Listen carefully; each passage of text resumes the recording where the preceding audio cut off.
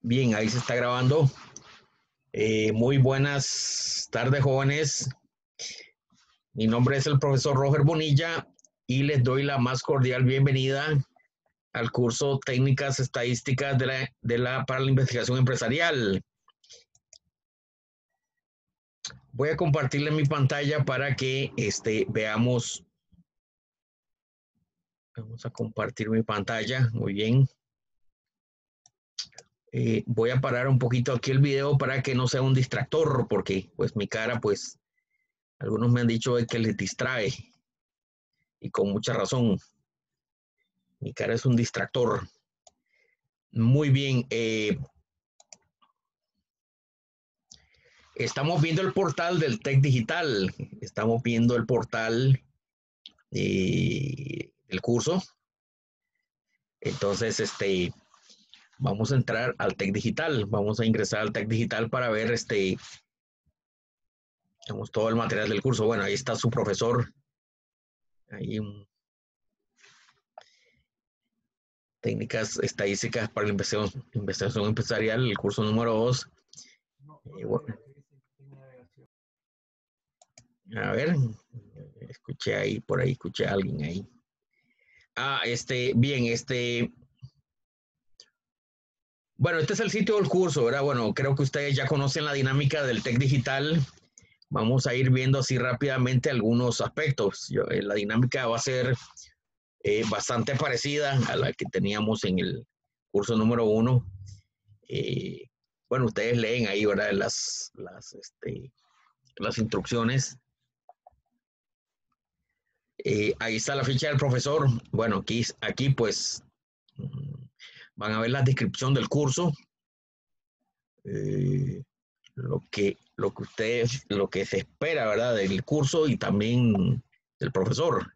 Y aquí van a ver la ficha del profesor. Bueno, aquí este, un, poco de propaganda para mí, ¿verdad? Si ustedes quieren ver un poco los, eh, los trabajos en donde he participado, pues ahí está todo mi, mi historial. Aquí están algunos artículos. Está, yo digo que este es donde yo presumo, güey. En los artículos ustedes van a ver ahí la... Eh, en este, creo que ya llegué, ya, ya perdí la cuenta, vamos a 50 publicaciones, ¿ve? Estoy, estoy presumiendo, sí. 50 publicaciones, ustedes pueden ver ahí, pues, el trabajo del profesor. Eh, ahí está mi correo, pueden, por favor, enviarme un correo cuando ustedes gusten.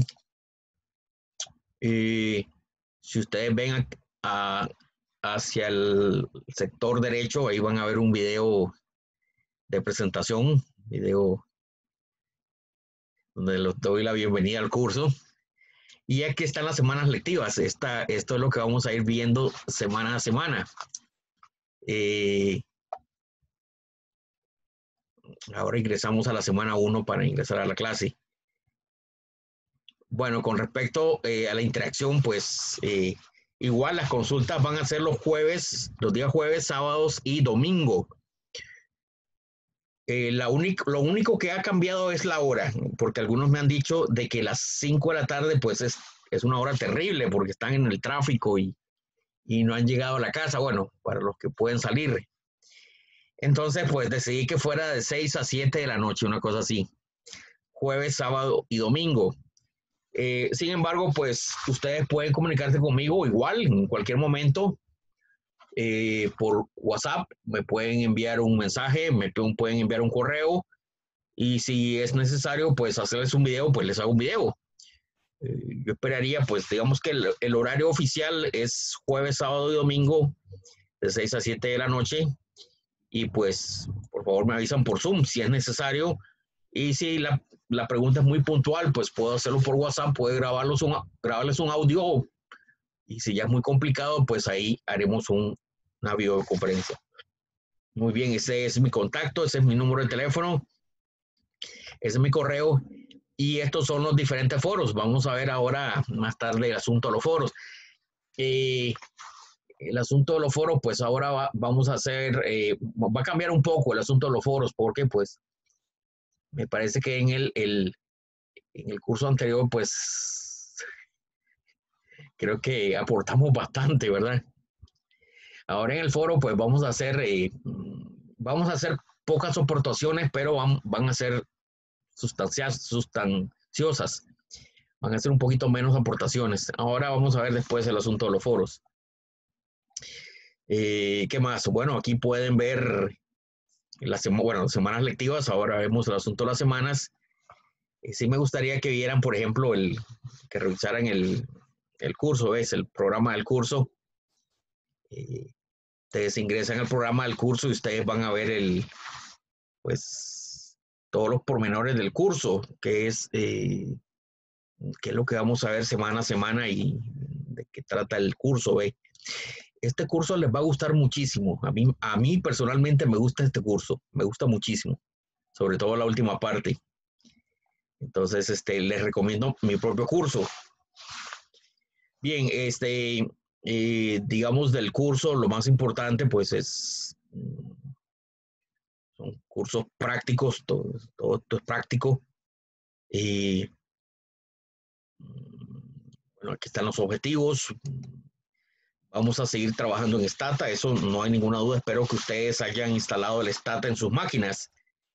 Eh, si tienen un problema con el Stata, si, si, por alguna razón hay un problema con el Stata, por favor comuníquense conmigo después de la clase o durante el recreo. Si hay problemas con el Stata, yo estoy... Eh,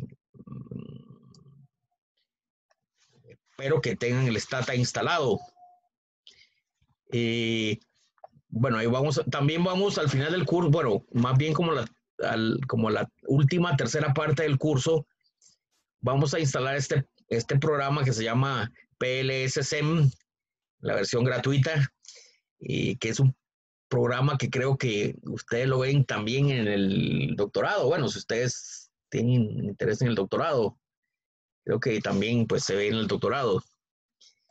Eh, es un programa realmente muy, muy interesante, muy interesante. O sea, no solamente el programa eh, Smart, eh, Smart PLS, sino que toda la técnica, realmente es una técnica eh, revolucionaria, una técnica a mí me ha gustado mucho, o sea, como estadístico, pues a mí me ha gustado mucho que finalmente pues ah, se haya hecho algo, eh, modelos estructurales, van a ver ustedes eh, al final del curso, pues vamos a ver esto con detalle. Bueno, de los contenidos, pues ahí van a ver ustedes el, el análisis de componentes principales, esto lo vamos a ver completamente Vamos a analizar componentes principales. Este tema es realmente muy interesante, cómo reducir la dimensión de un conjunto de datos. Vamos a estudiar también la correlación canónica, ¿verdad?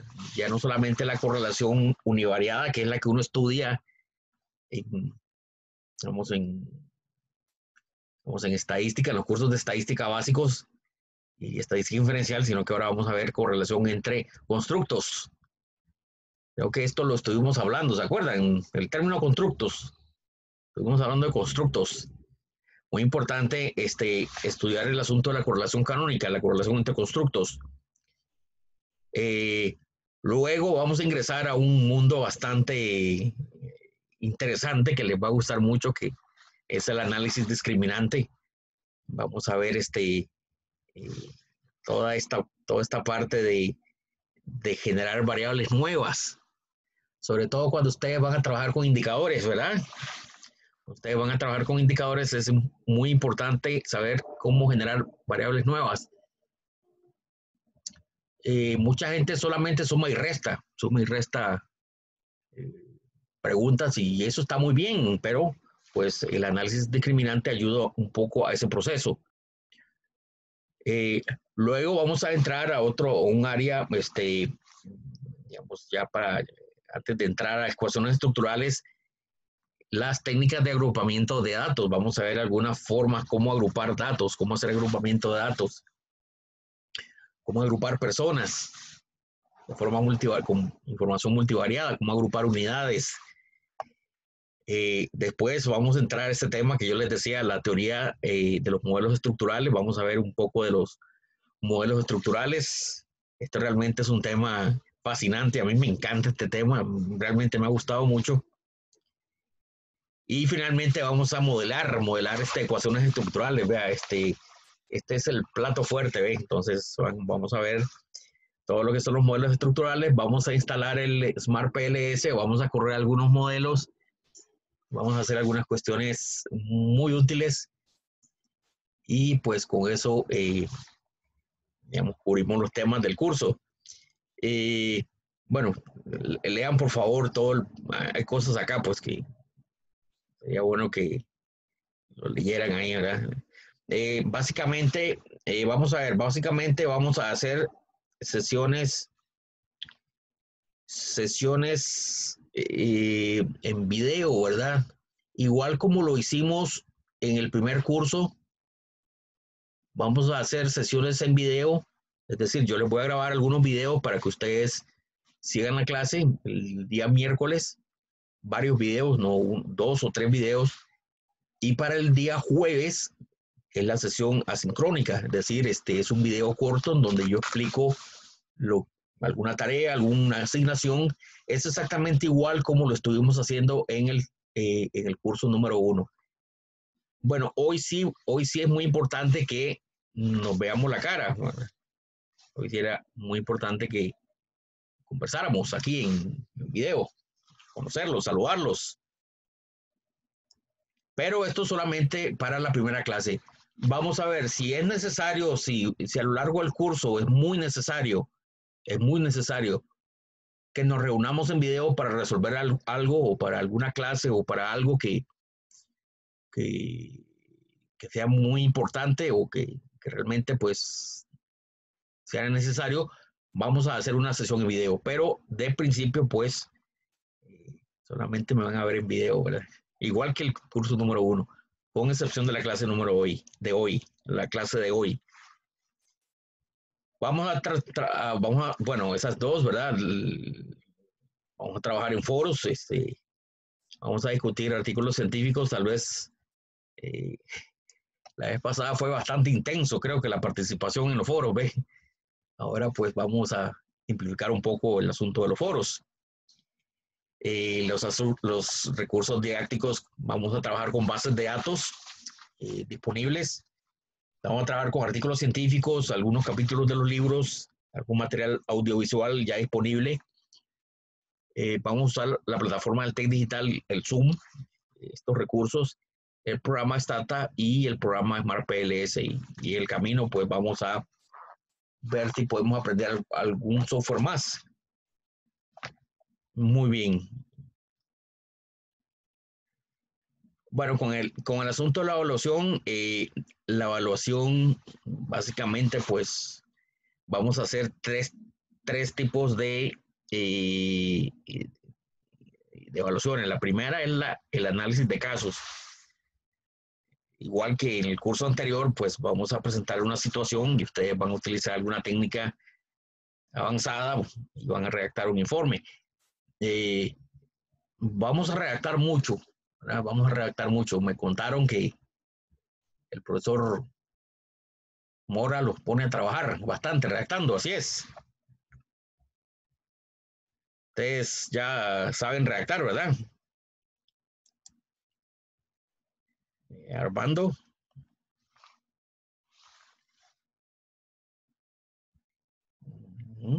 Pues se, se, se vuelve intenso, como dijo usted. bueno, entonces me han contado que ya ustedes saben redactar. Eh, y bueno, y en investigación empresarial es muy importante la redacción y redactar, digamos, eh, con el formato científico, ¿verdad? Entonces, un poco de eso, pues vamos a, eh, vamos a retomarlo, vamos a retomar la redacción en formato científico, ¿verdad? Van a ver que eso pues va a ser algo muy importante. Bueno, los foros, vamos a trabajar en foros, eso es, ya ustedes trabajaron en foros anteriormente. Y la solución de problemas complejos también igual, les voy a presentar un problema y, ustedes pues van a eh, resolver ese problema y sobre todo, sobre todo lo van a redactar, eso es muy importante. Vea que insisto mucho en la reacción, redactar, redactar, redactar. Este, en estadística, pues no solamente es importante realizar el análisis, sino que presentarlo y saber qué presentar, porque ustedes pueden ver que hay muchas salidas sin estata y uno pues quisiera saber qué poner. Entonces, eso es lo que vamos a tomar en cuenta. Bien, aquí está la tabla de evaluación. Los eh, son dos casos ahí, 5% cada uno, son para un rubro de 10%, van a ser cinco foros, un 30%, y cinco problemas complejos. Eso es, básicamente. La evaluación es similar al primer curso, ¿eh? pero ahora vamos a redactar un poquito más, vamos a redactar más. Vea que estoy insistiendo en el asunto de la redacción, porque pues me han contado que ustedes son buenos redactando, ¿eh? les ponen a redactar y a leer literatura científica, y eso me parece muy bien.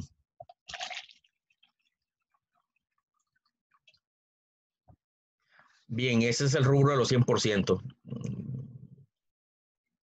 Bueno, ahora vamos a ver, bueno, aquí está la bibliografía, la hoja de ruta ahorita la vemos. Aquí está la bibliografía, yo les voy a ir, yo les voy a ir dando el, material ahí en el TEC Digital. Eh, nuevamente aparece mi nombre, ¿verdad? Y todos los, toda mi carrera docente, bueno, 15 años ya, más o menos, ¿verdad? Varias universidades, ves, este, eh, ahí está mi de investigación, bueno, son 50, bueno, esto hay que corregirlo, ¿ves? Ahora le corrijo.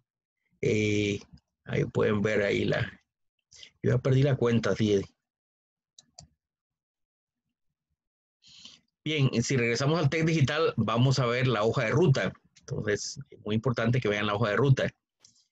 Eh, en la hoja de ruta están, eh, está así como muy puntualmente lo que, lo que hay que hacer, ¿verdad? Lo que, eh, sobre todo la fecha, digamos, las fechas, por el día de hoy, pues no hay, dice aquí, sesión 1.1, hoy no hay entregable, hoy vamos a estar dos horas por acá más o menos, conversando, dialogando, interactuando. Eh, mañana, mañana sí les dejo ahí un, ejercicio complejo, ¿verdad? Que hay que entregar el 30 de julio, ¿ve? Eh, eh, esto, esto es para que ustedes vayan marcando, ¿verdad? Día a día lo que hay que hacer. Pues hoy vamos a, vamos a repasar algunas cositas básicas, ¿verdad? Vamos a ver sobre todo tres videos explicativos y, vamos a repasar el sitio del Stata. vamos a estar un par de horas acá, no hay entregables, ¿verdad? Hoy es una clase pues que, quería saludarlos, quería verlos, quería eh, felicitarlos por seguir maestría. Eh, darle la bienvenida a Patricia, ¿verdad? Patricia Lacayo. Ella es una cara nueva. Patricia anda por ahí, sí. Ah, aquí está, Patricia, sí. Sí, así es, maestro, por aquí lo estoy escuchando, gracias. Ah, ¿qué tal, qué tal? Sí, es una cara nueva, sí. Y muy bendecida de estar. Sí, así que por ahí me va a tener, profesor. Claro que sí, claro que sí. ¿Usted físicamente está en dónde? ¿En Nicaragua? En Nicaragua, así es. Ah, bueno, pues ahí. Aquí también estamos en cuarentena, todo el mundo ah, trabajando en la medida de lo posible virtualmente, así es que nos da oportunidad un poquito más de seguir. Claro, claro. Eh, ¿Usted tiene que venir a Costa Rica en algún momento? No, bueno, yo no sé si con la cuarentena se podrá, en algún momento tiene que venir, no, no sabe. ¿Quién sabe? Sí, en algún momento, en algún momento voy a llegar, es. Ah, ok, ok, muy bien, sí. Bueno, ahí le, ya sé a quién pedirle el flor de caña. Ahora ya sé. ya sé a quién pedirle el flor de caña, eso muy bien. Bien, este, hoy, hoy quería saludarlos, hoy quería, quería, quería verlos de nuevo. Eh, ya para mañana, pues ya, eh, eh, ya empieza la cosa, ¿verdad? De ya entramos fuerte con el análisis de componentes principales, el PCA. y pues ahí sí vamos a demorar un poquito más de tiempo, ¿eh? Ahí sí vamos a tener que hacer eh, varias cosas y vamos a hacer un ejercicio complejo, para lo cual tenemos una semana para eh, resolver ese ejercicio complejo, ¿ven? véalo aquí, es una semana para los ejercicios complejos y dos semanas para los foros. Y bueno, y aquí está, aquí entonces ustedes van a ir, ir marcando, ¿verdad? Para que lo que no está, lo que no está en, digamos, lo que no es, eh, esto es muy importante, ¿verdad? Lo que no está en la hoja de ruta, pues no, no se hace. Si no está, pues no, no se hace.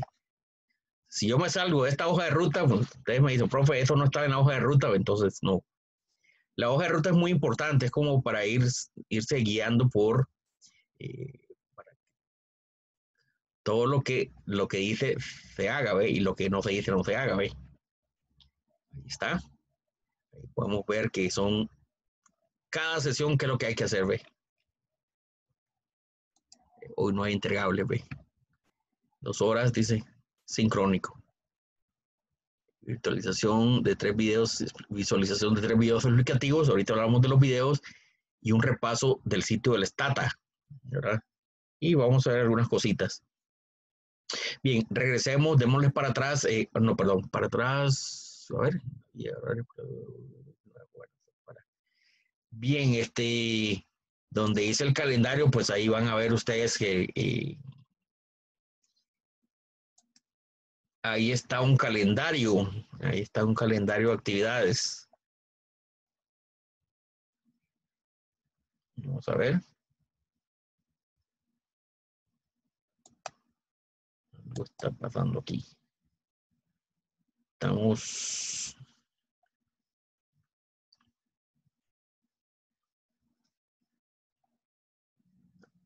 Aquí está, muy bien, el calendario, perdón. Que está un poco lenta la conexión.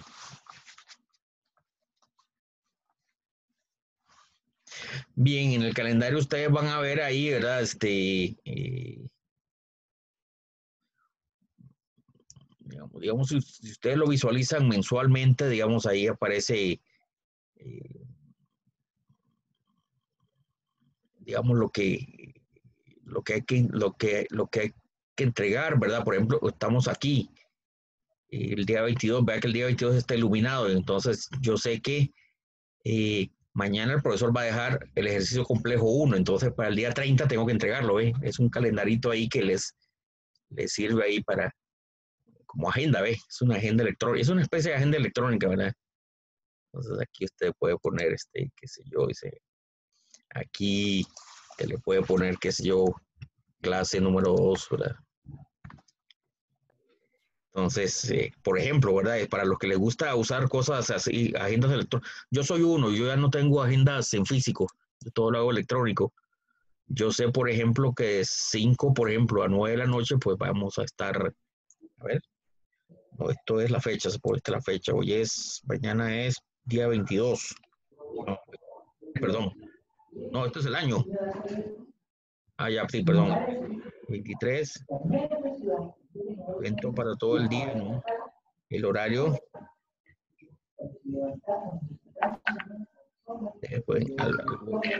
¿Por qué no puedo hacer la pantalla pequeña? Claro. Bueno, aquí, por ejemplo, estoy poniendo un ejemplo solamente. Por ejemplo, yo sé que eso es, eh, por ejemplo, de las 17 a las 21, por ejemplo más o menos. Entonces, por ejemplo, dice eh, ver la clase del profesor. Y clase 2. Esto es un ejemplo, eh, tal vez. Eh, usted le da, por ejemplo, ahí, ¿verdad? Ok, entonces ahí le queda ahí la, que el evento, ¿eh? Si usted se va a su calendario, bueno, aquí eh, en su calendario mensualmente, si lo ve, la vista eh, mensual, pues ahí aparecen, ahí aparecen las actividades, ve. Entonces, esto le sirve a ustedes para ordenarse bastante, ¿verdad? Para ordenarse, eh, para ordenar. todas las actividades, todas las actividades ya están puestas en el calendario, ¿ve? Entonces, por eso no se tienen que preocupar, ya están puestas. Solamente seguirlas, ¿ve?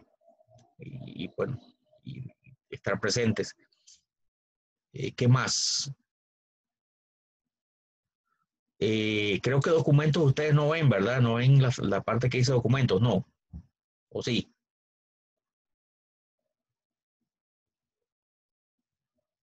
A ver, eh, Armando. La pestaña que dice documentos, ¿usted la ve, Armando? Aquí. Sí, señor, correcto. Ah, ok, muy bien. Entonces aquí. Copiado. Ahí hay unos calendarios, ahí hay unos documentos, ¿verdad? Pero bueno, este. Y las evaluaciones, que creo que es la parte que tal vez a todos nos interesará, ¿verdad? Las, las evaluaciones.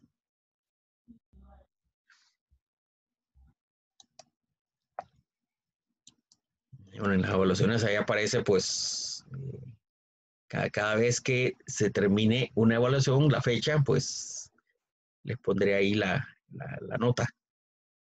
Entonces ustedes van a ir viendo ahí, ¿verdad? Las, eh, la nota de ustedes. Yo creo que no pueden ver las notas de sus compañeros, ¿verdad que no? Solo una nota de ustedes.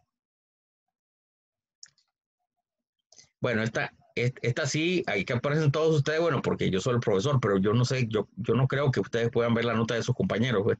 Creo que no. Solo la nota individual, maestro, se puede ver. Ah, ok, perfecto.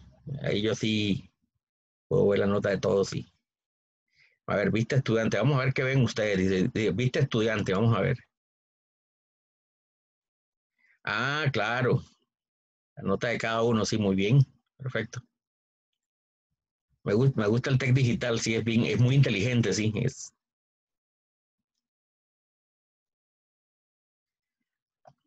Bien. Eh, además de eso, eh, vean ustedes que hay una pestaña que dice resumen, resumen técnicas estadísticas 2. Esto es como, es como el resumen del curso.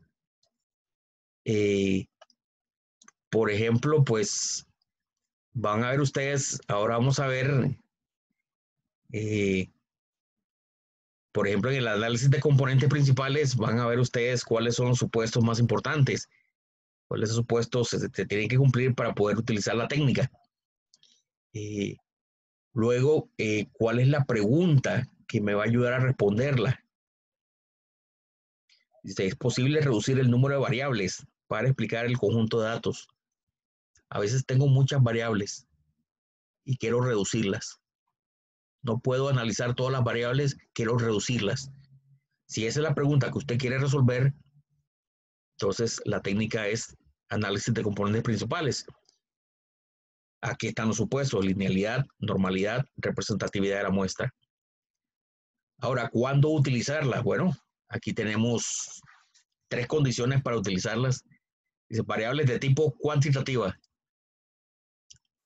Es decir, tienen que ser variables numéricas, tienen que ser variables de medición. Eh, cuando hay tres o más variables en el conjunto general de datos. Eso es normal, ¿no? Si usted quiere reducir el número de variables, por lo menos tienen que haber tres variables o más. Si son dos o tres, bueno, ahí no tiene sentido reducir más variables. Y dice al menos 10 observaciones por variables. Entonces, ahí van a ver ustedes algunas condiciones eh, ¿Cuándo no utilizarla? Cuando no se cumple lo anterior. Bueno, ahí van a ver ustedes. Para cada uno, para cada una de las técnicas que vamos a ver, van a ver ustedes cuáles son sus supuestos, su pregunta que ayuda a responder y cuándo utilizarla y cuándo no. Básicamente, ese es el resumen del curso. ¿eh? Eh, creo que en la parte de administración, bueno, estos son, eh, bien no sé si tienen ustedes alguna pregunta así propiamente del, del curso, del, profesor, de la forma de evaluación, la técnica, por ejemplo. Eh, ¿Tienen alguna duda, alguna pregunta, alguna, alguna inquietud? ¿Me quieren contar un chisme? ¿Me quieren contar alguna cosa ahí? ¿O todo está claro? Más o menos.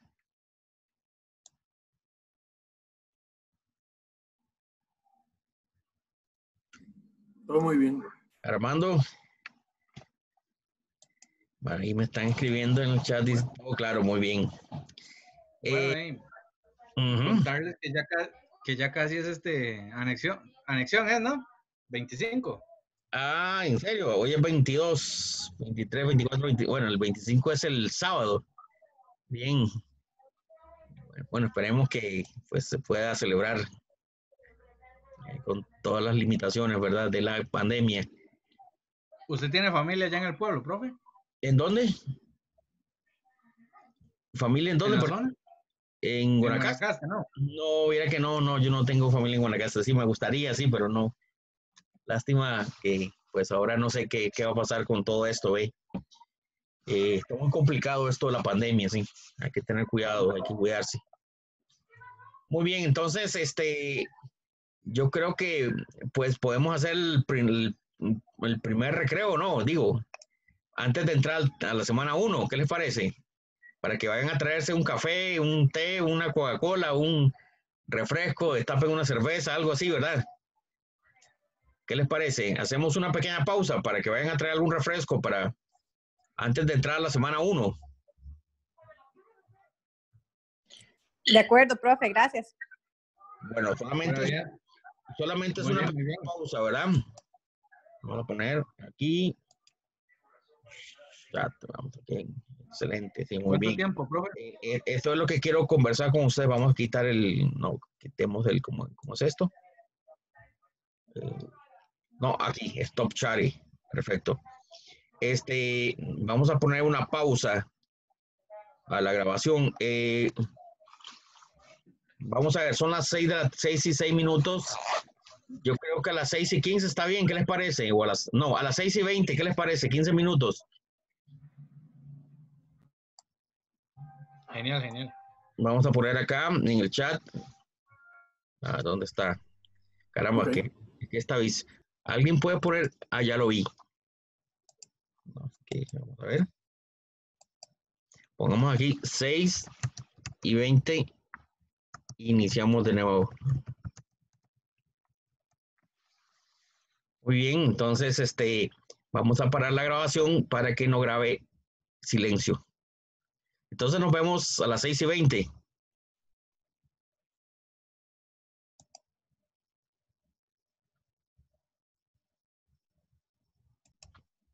Bien, jóvenes, eh, damos inicio a la segunda parte de la, de la lección de hoy. Vamos a compartir pantalla y vamos a eh, eh, vamos a entrar al TEC Digital, vamos a entrar al TEC Digital y vamos a entrar a la semana número uno. Tenemos acá la semana número uno, estamos aquí iniciando el curso. Esto está apenas iniciando. Y ahí van a ver ustedes este, la lección de hoy y la lección de mañana. Bien, la lección de hoy dice, vamos a estar acá un, par de horas aquí de forma sincrónica. Y el objetivo de la sesión de hoy es que, eh, bueno, que ustedes comprendan los fundamentos y los supuestos del análisis de componentes principales. El primer tema que vamos a ver es análisis de componentes principales. Ese es el primer tema que vamos a ver. Eh, bueno, ahí le piden conectarse, bueno, ahí se conectaron ustedes. Este, aquí donde dice, eh, vea el video de la sesión, donde dice actividad 3, vean, vean que donde dice actividad 3, ahí dice, aquí está un, ahí, ahí está un play en color rojo. Vea que ahí voy a poner el video este que se está grabando cuando lo termine. Ahí lo voy a poner para las personas que no se han podido conectar o que no se pueden conectar me parece que alguien me dijo que no se podía conectar hasta las 7 de la noche. Eh, entonces, en ese sentido, pues yo voy a poner el video acá, donde dice sesión número 1. Pues en todas las sesiones, todas las sesiones yo las voy a grabar. Entonces van a quedar grabadas las sesiones o pues los videos.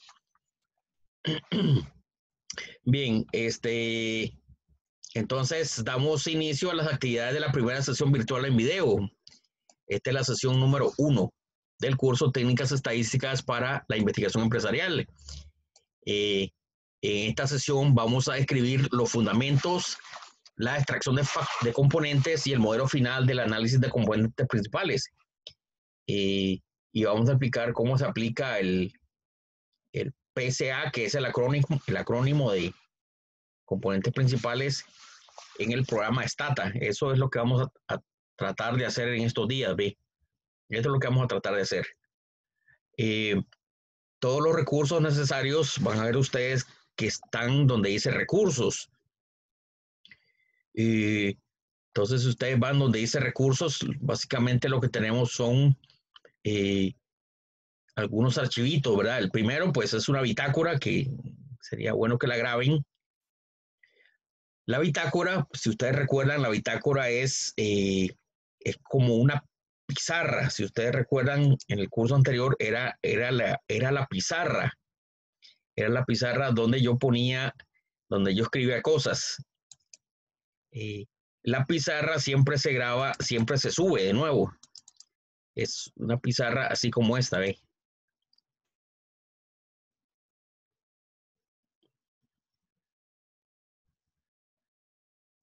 es una pizarra, es una pizarra, bueno, este, como estamos de forma virtual, eh, vamos a tener que hacer la pizarra así, ¿verdad? En un Word. Eh, imagínense que yo estoy escribiendo ahí en la pizarra, ¿verdad? Pero en vez de estar escribiendo en la pizarra, eh, así como,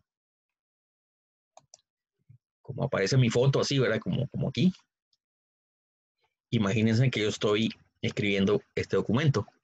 Entonces, imagínense que yo escribí en la pizarra análisis de componentes principales. E, esa es la bitácora.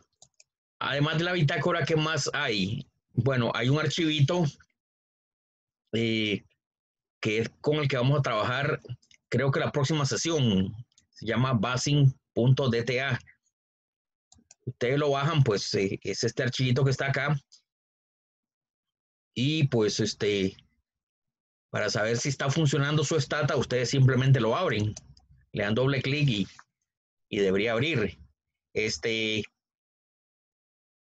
todos pudieron abrir el archivo, sí, de, Stata. La prueba para saber si mi Stata está funcionando es que le doy doble clic al archivo ese y lo puedo abrir sin ningún problema. Sí pudieron abrirlo, sí.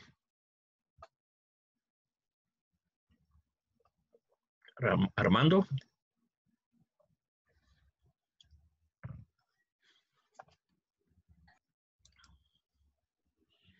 Bueno, es que solamente a Armando le pregunto por qué él está de primero, ¿verdad? Y Cristina. confirmado, confirmado. Cristina pudo abrirlo, sí.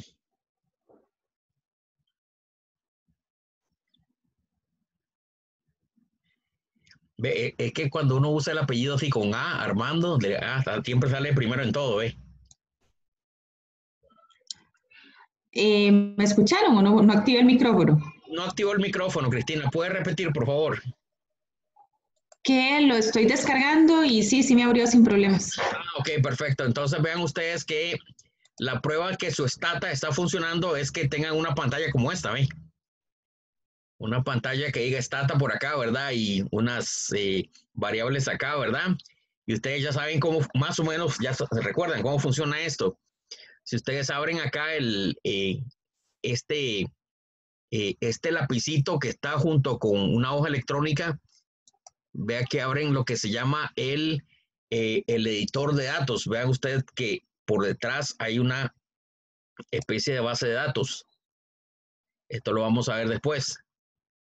Eh, si usted lo cierra, cierra la base de datos, pero el Stata sigue funcionando. vea que la base de datos es, una, es independiente del motor.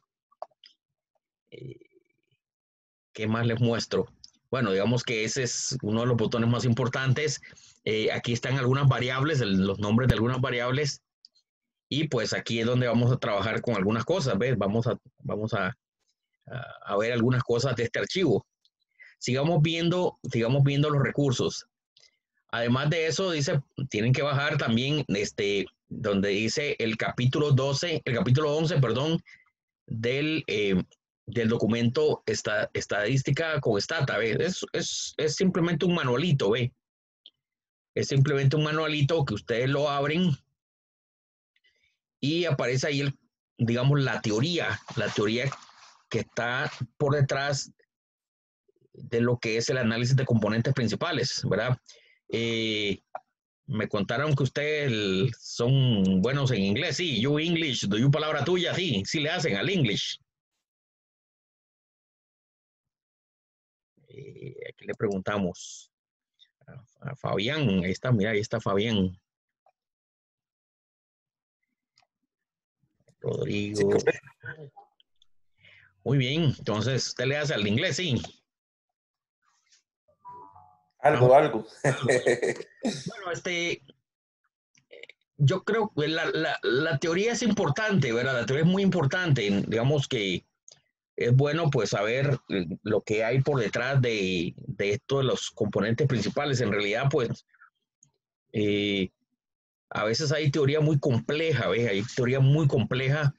Digamos, es, cuando uno aprende esto digamos, en la escuela de estadística, pues hay, es realmente muy complejo cuando lo explican, ¿verdad? Porque es con matrices y con, y con cuestiones ahí multivariadas. Entonces, eh, me parece que el manual del Stata, pues, es eh, realmente bastante, bastante claro explicando lo que hay por detrás de componentes principales, ¿ve?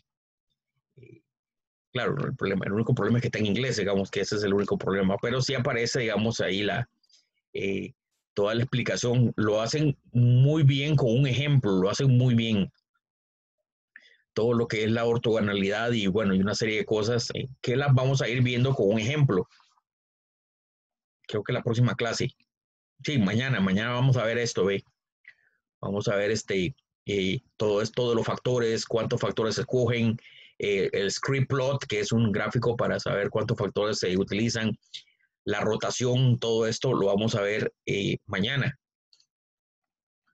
Eh, vamos a verlo con ese ejemplo, ve algunos resultados y cómo se grafican los, y, cómo, y sobre todo cómo se, cómo se interpreta todo esto para que ustedes puedan escribir el informe que van a entregar de mañana en 8.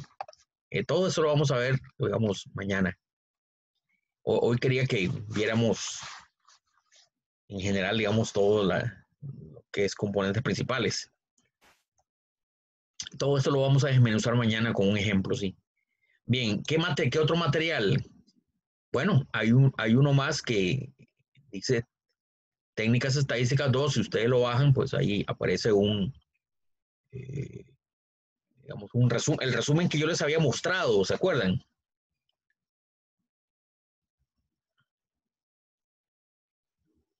todo lo que son los supuestos, las preguntas que le ayudan a responder, cuándo utilizarla y cuándo no utilizarla. Eh,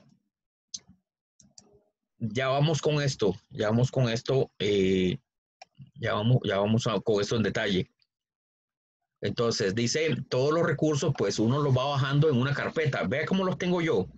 Si ustedes ven mi pantalla, vea que yo tengo aquí S1, S2, S3, S4, S5. Entonces, en cada sesión voy grabando los archivos respectivos para, para tener un poquito de orden, ¿ve? Graben, graben los archivos, no los, no los abran, grábenlos, grábenlos en su computadora. Hay algunas personas que lo que hacen es que abren el archivo de forma remota, eso no es buena idea. Grábenlo, o sea, bájenlo y ténganlo en su computadora. Eh, bien, Profe, perdón, no sé, es que a mí se me quedó el zoom pegado, pero lo que estoy viendo es la pantalla de Stata. ¿Es la pantalla de Stata? A ver. Sí, pero no sé si fue como se me pegó el zoom a mí, sí, sería solo yo. Y vamos a ver, tal vez ahí si nos ayudan los compañeros. Si ustedes nos ayudan, compañeros, ustedes pueden ver mi pantalla. A ver, señor, confirmado. ¿Qué ven ahorita? Semana 1, sesión 1. Ah, ok, muy bien. Entonces me voy a desconectar y me vuelvo a conectar porque sí se me pegó. Ok, sí, eh, el tech digital, muy bien. Ahí que ven, ahí. ¿Qué el, ¿Qué, el Chapultepec. Ese castillo de Tepultepec. Ah, bueno, buenísimo, sí, el, Museo del Louvre, viera qué buenísimo, sí. Ah, bueno. Ah, entonces debe ser...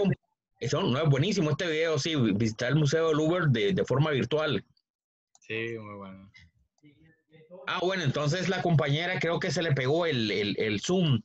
Eh, lo bueno de todo esto es que la clase está grabada, ¿ves? Esto es lo bueno, ¿ves? Por eso es que esta es una, eh, eh, es una desventaja, por ejemplo, de las clases sincrónicas que, bueno, si se me pegó, se me pegó, ¿verdad? entonces todas las clases están grabadas, ¿ves? No se preocupen por eso, que todas las clases están grabadas. Ahí entró la compañera, sí. YouTube dice muy bien. El castillo de Chapultepec. Bien, este, íbamos por aquí, ¿verdad? Entonces, eh, la bitácora dice que es un archivo de Word que se encuentra en la sección de recursos y contiene algunas anotaciones.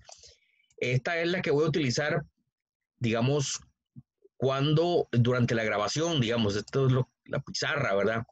Este, este, es el archivo tal vez más importante, la pizarra, porque yo aquí hago anotaciones, pongo comandos para que ustedes lo vean, igual como hicimos en el, en el trabajo, en el curso número uno. Teníamos ahí este y indicaciones en la bitácora, teníamos comandos incluso, ¿verdad? Eh, anotaciones, comentarios, todo eso es muy importante que lo tengamos en una especie de bitácora aclaraciones, de todo, de todo. Y al final de la clase yo lo voy a volver a subir por si acaso le hago alguna anotación. Em, entonces, bien, vean, para esta sesión en video se les solicita realizar las siguientes actividades. Vean, estas son las actividades del día de hoy. Estas son las actividades del día de hoy. Estas son las actividades del día de hoy. En primer lugar, dice, vamos a ver un video. ¿Ves? Vamos a ver un video eh, en donde se nos explica de forma intuitiva lo que es el análisis de componentes principales. Eh, el profesor que explica esto de la Universidad de Salamanca lo hace bastante bien. Me parece que es una forma muy, muy, muy clara de explicar de forma intuitiva lo que es el análisis de componentes principales. Si usted lo logra entender de forma intuitiva, toda la parte mecánica va a ser mucho más fácil. Entonces, él trata de explicar, digamos, eh, con unos ejemplos bien simpáticos, lo que es el análisis de componentes principales. Entonces, esa es la sesión de hoy, digamos. Este, vamos a ver así un pedacito del video. Vamos a abrirlo, vamos a verlo un pedacito, vamos a ver un pedacito del video para que el profesor aquí, vamos a ver, ahí está, vean, ahí ponen, eh, bueno, es el profesor José Luis Vicente Villardón, del Departamento de Estadística. Y van a ver ustedes que... Procedemos a continuación la explicación intuitiva del análisis de componentes principales. Supongamos que disponemos de una base de datos normalmente formada por un conjunto de filas correspondientes a un conjunto de individuos, en este caso para nuestro ejemplo inicial, países, y un conjunto de variables en columnas que para nuestro ejemplo inicial van a ser los porcentajes de la. Profe, creo que no se escucha bien. Creo que no, se, escucha bien. Ok. No sé si es solamente yo. ¿Alguien? Sí, no se escucha bien. No sé si no se escucha bien. Vamos a ver. Creo que es el sonido de la computadora, sí.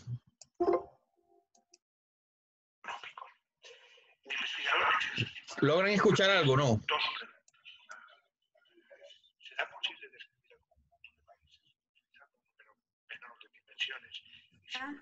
Eh, no, eh, ahí, profe, lo que podrías hacer es cuando le das compartir pantalla.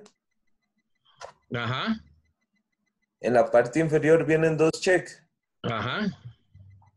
Ah, sí. Uno de ellos dice compartir el audio. Ajá, correcto. Y ya ahí selecciona la pantallita donde está el video. Share Computer Sound. Ahí pongo el video aquí. Vamos a, ahí. Share. Vamos a ver, va de nuevo.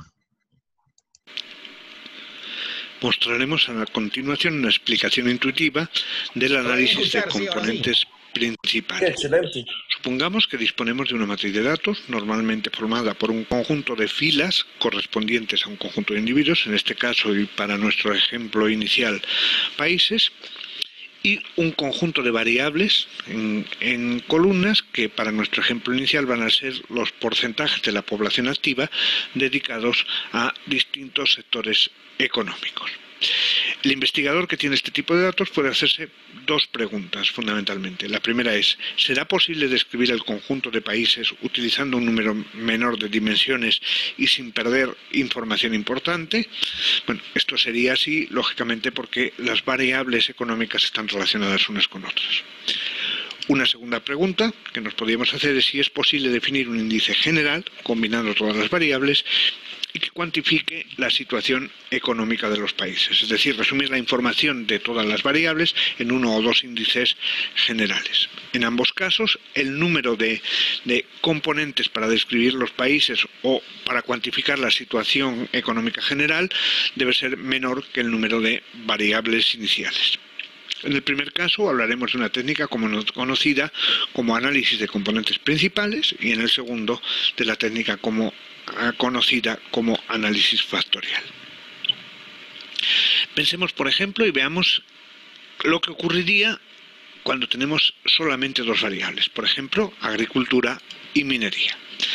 La representación de, los países para estas dos variables podemos hacerla mediante un diagrama de dispersión en el que cada uno de los puntos representa a uno de los países.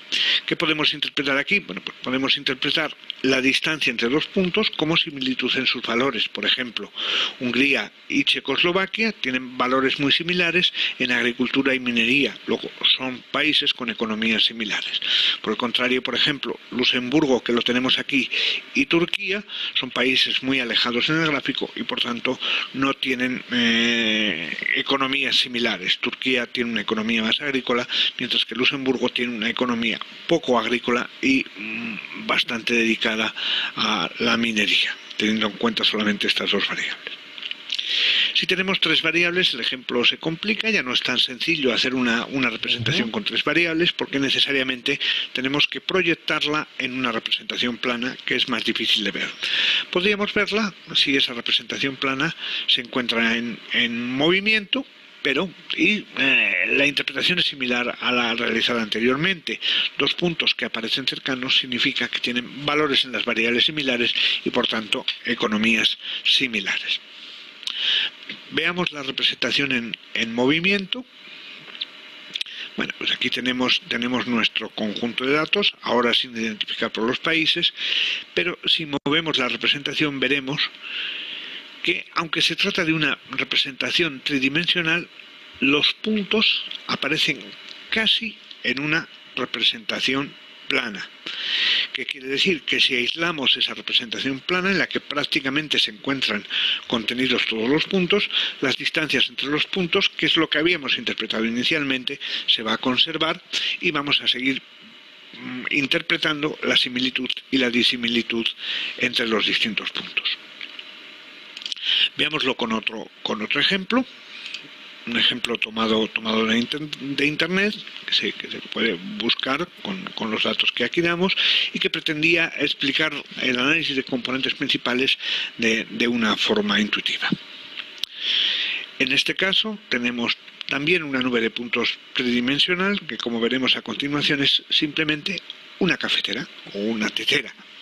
Lo que queremos es tomar una foto de la tetera de forma que se conserve la mayor parte de la información posible. Es decir, que reconozcamos que se trata efectivamente de, una tetera.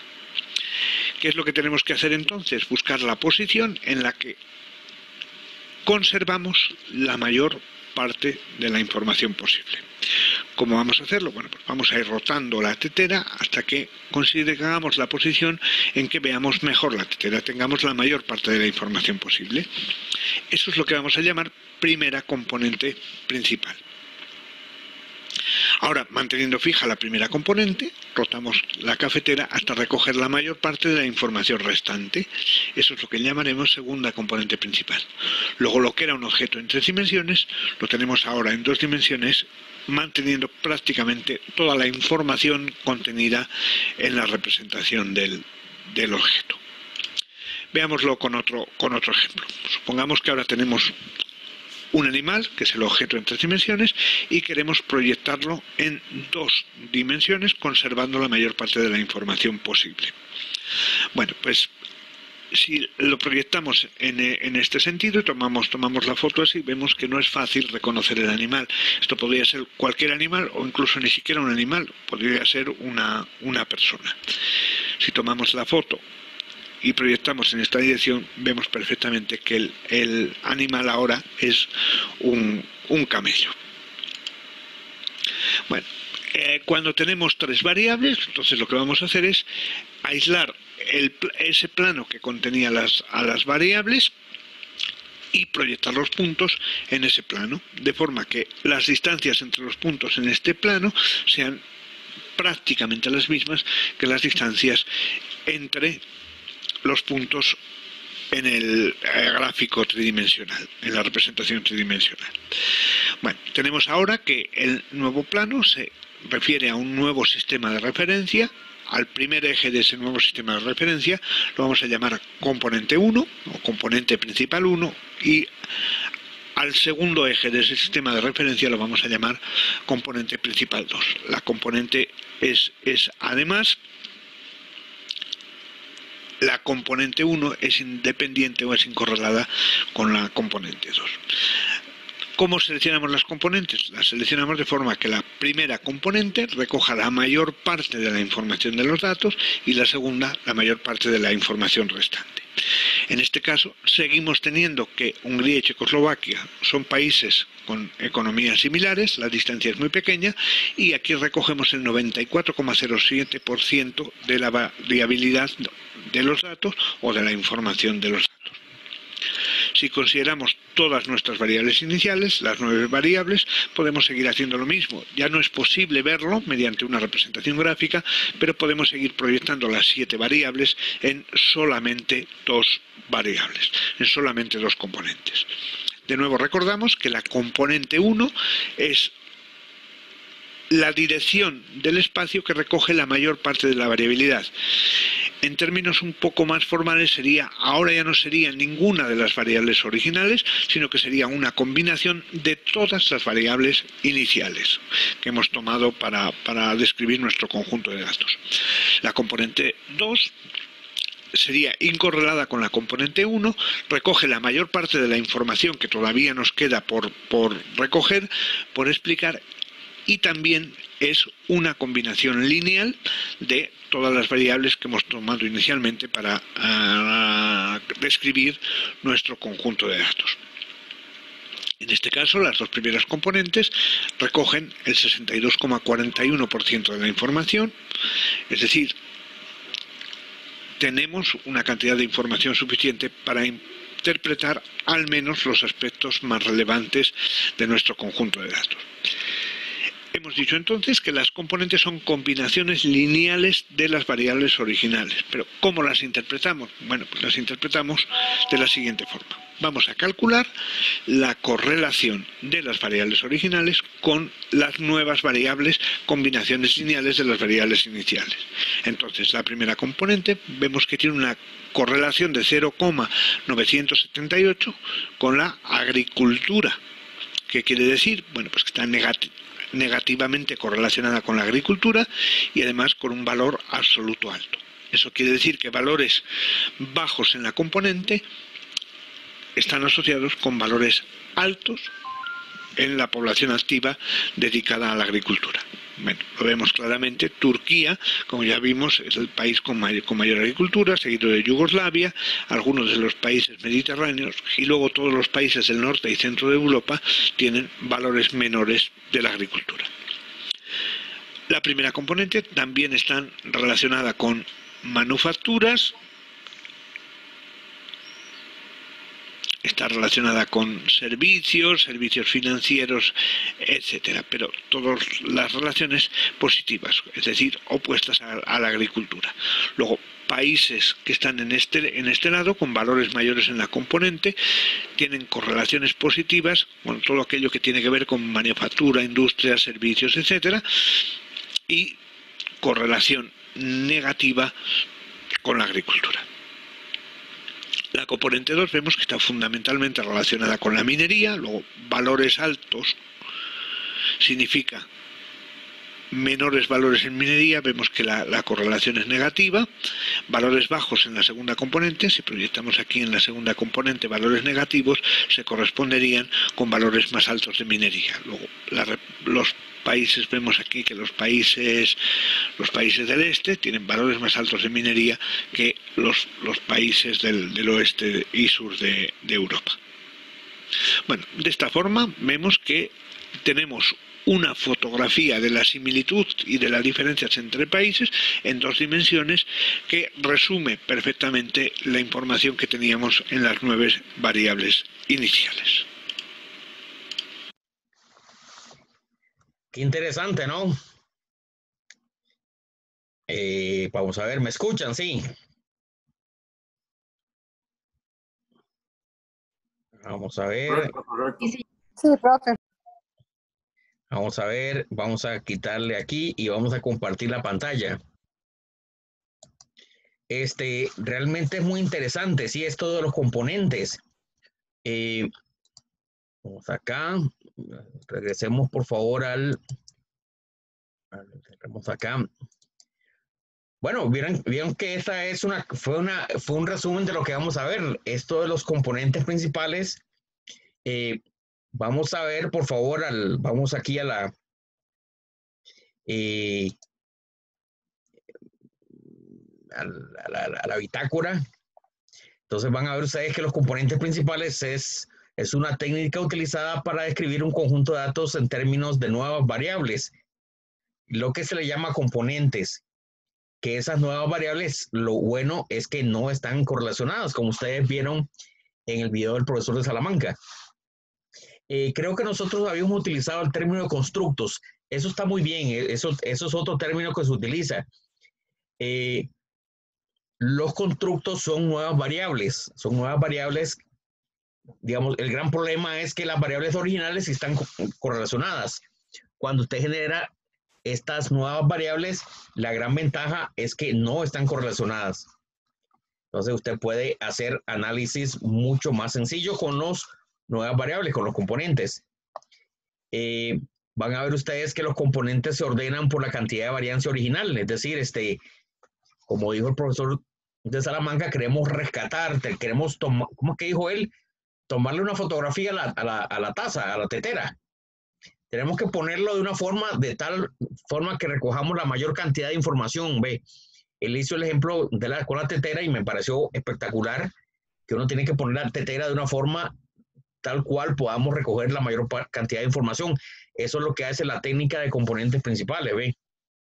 Eh, por ejemplo, aquí hay, un, aquí hay una, eh, eh, aquí tenemos aquí un, una, una, aplicación, por ejemplo, la técnica, tenemos un conjunto de datos y al, al hacer el componente principal podemos extraer, podemos, podemos aislar información, podemos determinar que aquí hay dos grandes grupos de información con características particulares en cada uno de ellos, pero eso hay que, eh, hay que extraer ese componente, ¿ve?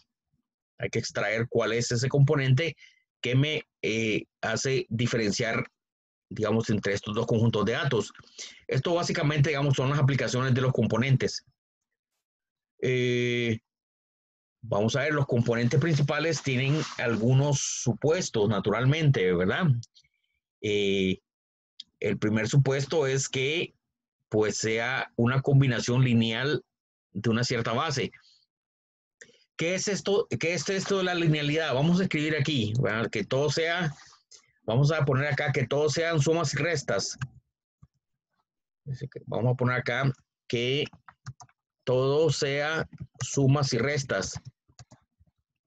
Eh, por ejemplo, ¿verdad? Vamos a decir que un componente, por ejemplo, el componente componente 1 eh, va a ser igual, por ejemplo, a A1, por ejemplo, X1, más A2, otra variable X2, más, vea que son puras sumas, A3, pongamos que solamente hay tres variables, A3, X3, ¿verdad? Y el componente 2, el componente 2, vea que es puras sumas, componente 2 son combinaciones lineales, por ejemplo, vamos a decir, vamos a decir que es B1X1, por ejemplo, más eh, B2X2, dice más B3X3. Esto es un ejemplo. Eh, vean ustedes que linealidad significa que son puras sumas, es decir, que hay una suma, que hay una suma. No vamos a utilizar, por ejemplo, exponenciales. No. No vamos a utilizar, digamos, eh, logaritmos naturales, ¿Qué otras funciones lineales no conocen? No, eh, raíces cuadradas, por ejemplo, eh, no vamos a utilizar, por ejemplo, esto no se puede utilizar esto, por ejemplo, no podemos decir así que componente 1 dice va a ser igual, digamos, a el exponente, digamos, e a la e elevado a la a todo eso, por ejemplo. e elevado a todo eso. Eso ya sería una familia exponencial. Vamos a ver cómo lo hago exponencial. Eso es así, ¿verdad? Así. He elevado a todo eso. Nada que ver. Nada que ver. ¿Por qué? Porque esto es una familia eh, de eh, exponencial. Eso no lo vamos a hacer. O que me digan que es logaritmo natural de todo eso. No, tampoco. Todos tienen que ser sumas y restas, sumas y restas, sumas y restas. Esto no. A ver cómo se tacha esto. A ver, eh, así, ¿verdad? Esto no así. Así. Esto no. Esto no. Todo lo vamos a manejar de forma lineal. Eso es uno de los supuestos más importantes. Eso, eso facilita mucho las cosas. Esto no. Así. El segundo supuesto es la normalidad de las variables.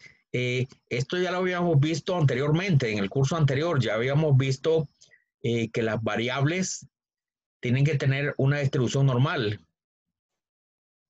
¿Ustedes recuerdan esto de la normalidad? ¿Cómo, ¿Qué forma debe tener la, las variables? ¿Alguien, ¿Alguien se acuerda cómo se grafica? Por ejemplo, veamos una variable de la, de, en Stata. Una variable Puede ser, vamos a ver, eh, esta precip, vean esta precip. ¿Alguien sabe cómo graficar una variable, la variable precip? Armando. Bar. Histogram. histogram, ¿se acuerdan? Que el histogram me hace un histograma de la variable precip. Este, hagan este comando, por favor, en, en, Stata, histogram, precip, ustedes lo copian eh, y lo pegan, dice histogram de la variable precip, y vea que lo que se grafica es un histograma. Y uno dice, mm, esto, esto no es así como muy normal, ¿verdad que no? Mm. Aquí está muy alto, después baja, después vuelve a subir y como que no es muy normal que digamos, ¿verdad? Debería uno hacer alguna transformación, ¿verdad que sí? Pero todo eso lo vamos a ver mañana, todo eso lo vamos a ver mañana. Vean que cuando las variables originales no son normales, uno debería hacer alguna transformación, por ejemplo, logaritmo natural. Hagan este comando. Hagan este comando gen eh, ln precip, que va a ser igual al logaritmo natural de la variable precip. Si copian ese comando, va a generar una nueva variable que se llama ln precip, que va a ser el logaritmo natural de la variable original precip, precipitación. Hagan este comando hagan este comando y lo pegan en Stata. Ven, entonces eh, vean ustedes que se genera una nueva variable que se llama lnprecip. Y ahora sí, hagan un histograma en, en esa variable lnprecip. Hagan histogram lnprecip y vamos a ver si se comporta de forma normal. Copien, peguen y vamos a ver qué tal nos fue. Mire, bueno, ahí sí, ahí está un poquito más normal, sí. Este, entonces vean ustedes que esas son las cosas que uno tiene que ver, ¿verdad? Este, tiene que, eh, tiene que asegurarse o tiene que este, hacer una transformación sobre las variables antes de trabajar con las variables originales. tiene que garantizar que ese supuesto se le cumpla. Dice, la normalidad de las variables es deseable. Vea qué importante la palabra deseable. Subraya la palabra deseable.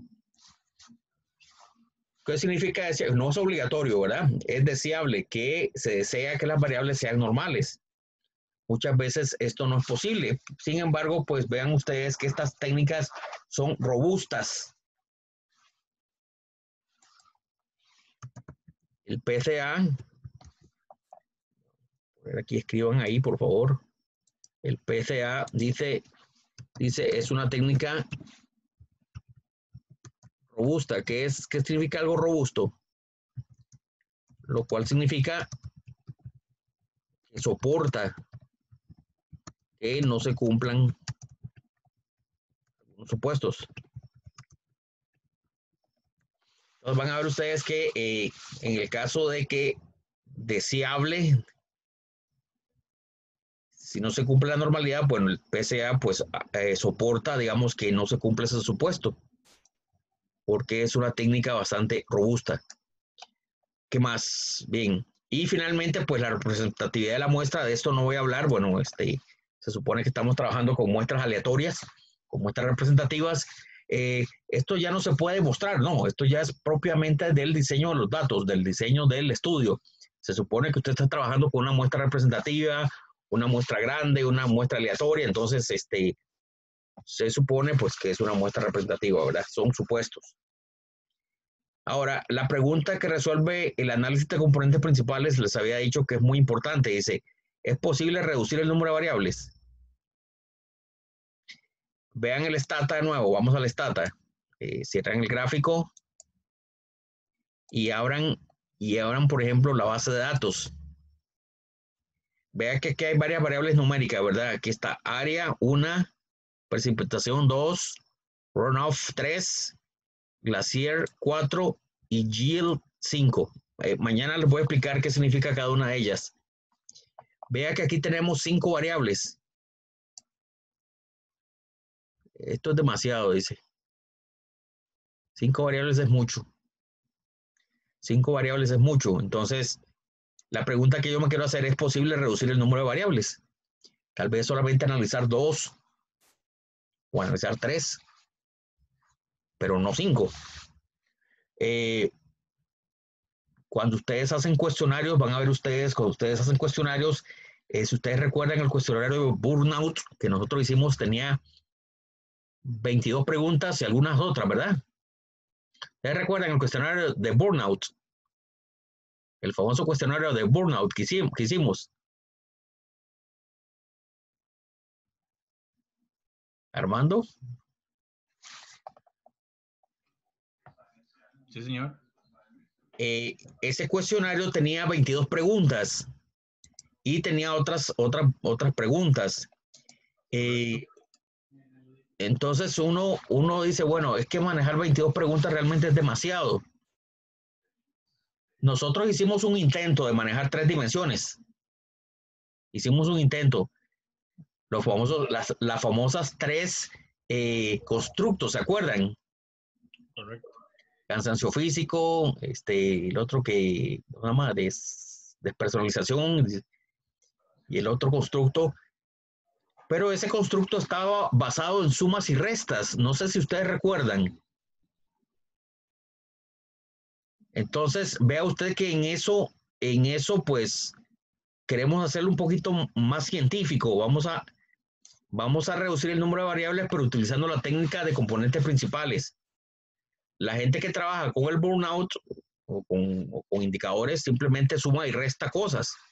Eso está muy bien pero deberían utilizar la, la técnica de, análisis de componentes principales, como la vamos a aprender, para poder reducir el número de variables y analizar. Bien, ¿Cuándo podemos utilizar esta técnica de análisis de componentes principales? Cuando las variables son de tipo cuantitativa. Vamos a ver, abramos la base de datos. Eh, tenemos una variable que dice área, esa es cuantitativa. Muy bien. Eh, precipitación, la podemos utilizar muy bien. Eh, el runoff, escorrentía creo que se llama. También la podemos utilizar. Ven ustedes que es, es numérica. La variable de glaciación también la podemos utilizar. Mañana les digo lo que significa. Son numéricas. Y yield también la podemos utilizar. La sedimentación. Pero vean ustedes que esta variable de localización no la podemos utilizar. ¿Por qué? Porque no es numérica. Esta es categórica. Ve que esta es como la ubicación, como el lugar donde está ubicado. El, esta no la podemos utilizar. Vamos a utilizar solamente las variables numéricas, nada más. Pero, pero esas se podían, esas se podían tratar porque, ¿te acordás cuando usábamos sexo? Eh, que también, que era más... Ah, sí, correcto. ¿Verdad? Le poníamos ahí un valor. Muy bien, pongas un punto extra ahí. Correcto. Si queremos utilizar esa variable, la podemos binarizar. Muy bien, excelente. Muy bien, muy bien, excelente, excelente. Si quieren utilizarla, se puede binarizar. Pero eso lo vamos a ver mañana, sí. Entonces, básicamente lo que necesitamos son las variables numéricas o, o binarias también, que son variables numéricas. Eh, ustedes saben lo que es binarizar, sí, ¿verdad? Sí recuerdan.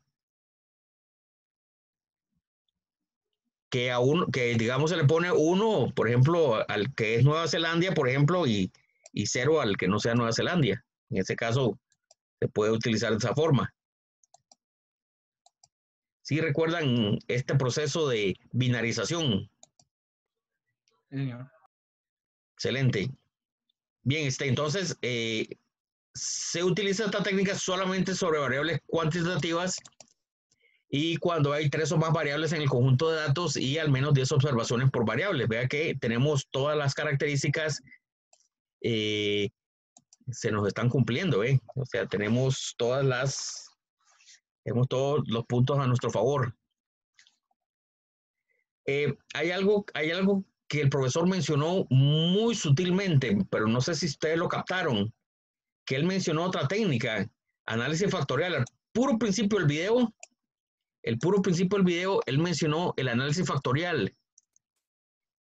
El análisis factorial es, es otra técnica muy similar a esta. Dice, componentes principales reduce el número de variables. Eso es lo que hace el componente principales. Reduce el número de variables. Eso es lo que hace componentes principales. El análisis factorial, que él lo mencionó, dice, utiliza todas las variables, las utiliza todas y genera un índice. Genera un índice. Entonces vean ustedes que son técnicas muy parecidas, ¿no? Componentes principales, reduce variables. Perfecto. Análisis factorial, las toma todas y genera un índice.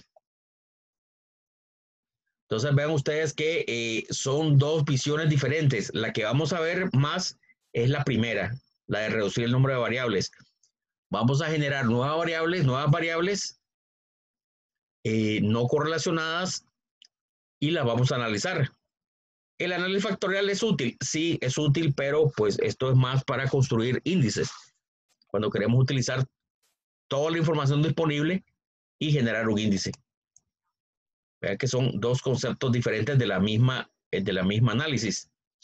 Eh, Bien, este, vamos a ver qué más tenemos por acá. Vámonos a la...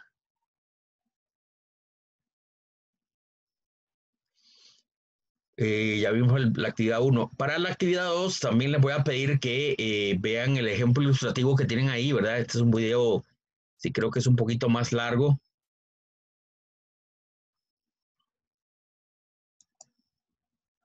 Son, es de 14 minutos. Eh, por favor vean el video, el video este que eh, ahí tratan de eh, desarrollar un ejemplo, un ejemplo donde desarrollan todo lo que es componentes principales. Nosotros lo vamos a hacer el día de mañana. El día de mañana, pues vamos a, eh, vamos a, vamos a desarrollar un ejemplo con estos datos que tenemos ahí de Nueva Zelanda.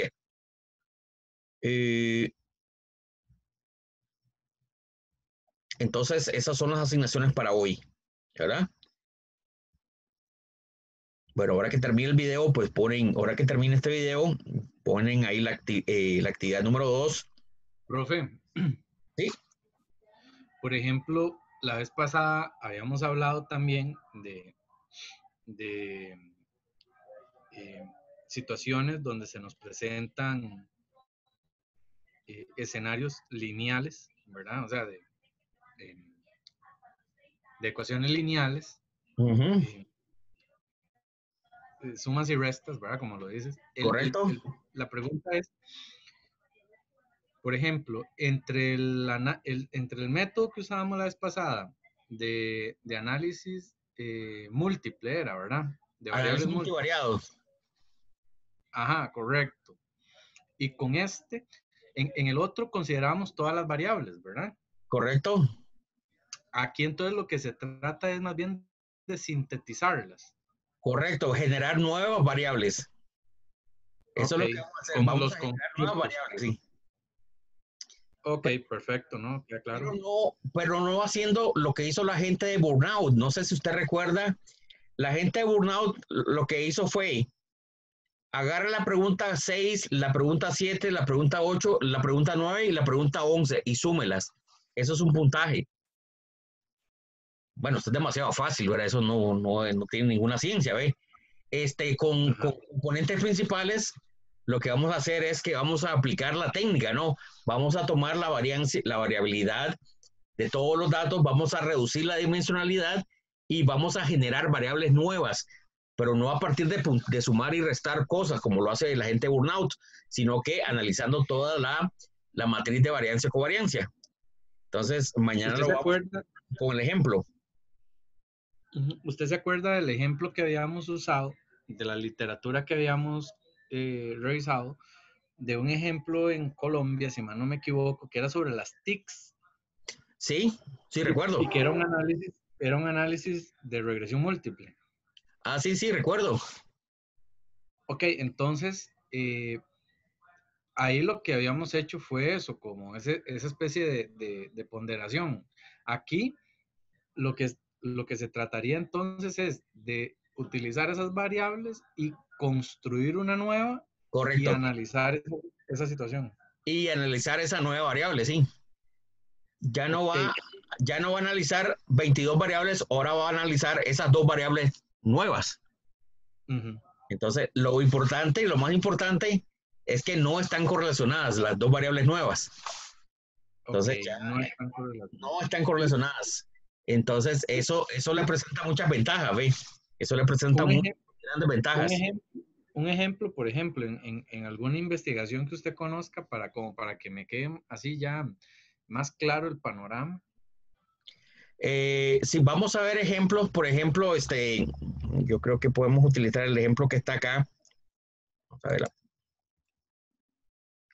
Eh, aquí tenemos aquí entonces van a ver ustedes, aquí está, ver que estas variables, van a ver ustedes que tenemos una, dos, tres, cuatro variables que esas de alguna, de alguna otra forma aportan o generan o, o producen dos factores. Entonces usted toma esos dos factores y usted los analiza.